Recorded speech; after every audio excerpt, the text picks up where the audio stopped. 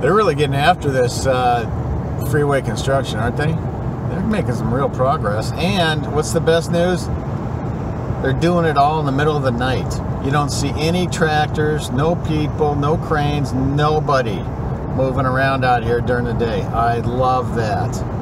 Let's test it right here. I see one light. Must be the repair guy. That's it. Love it. Oleanders, See you later. Bring on them carpool lanes. Oh yeah, rolling into La Jolla for an off-market property. Showing a property not listed yet. What's the biggest problem? CBB. Commission to buyer's broker. How much do we get paid? That's the big benefit of having the MLS. The MLS has the offer of compensation and it's the governing body that not only lets you know exactly how much you're going to get paid, but enforces it. If there's ever a dispute, they're going to be the ones that sort it out for you. So, the MLS going away. It's on its way out now.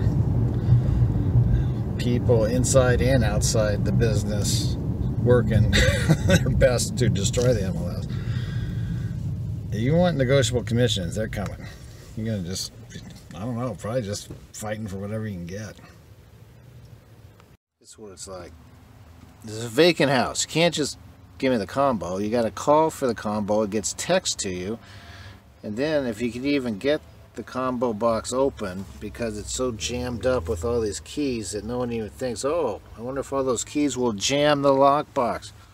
I got to bust it open. I bet people have come and not been able to get in, and I hope no one's wondering why it's not selling. Look how many keys you got there. That's six keys. Good.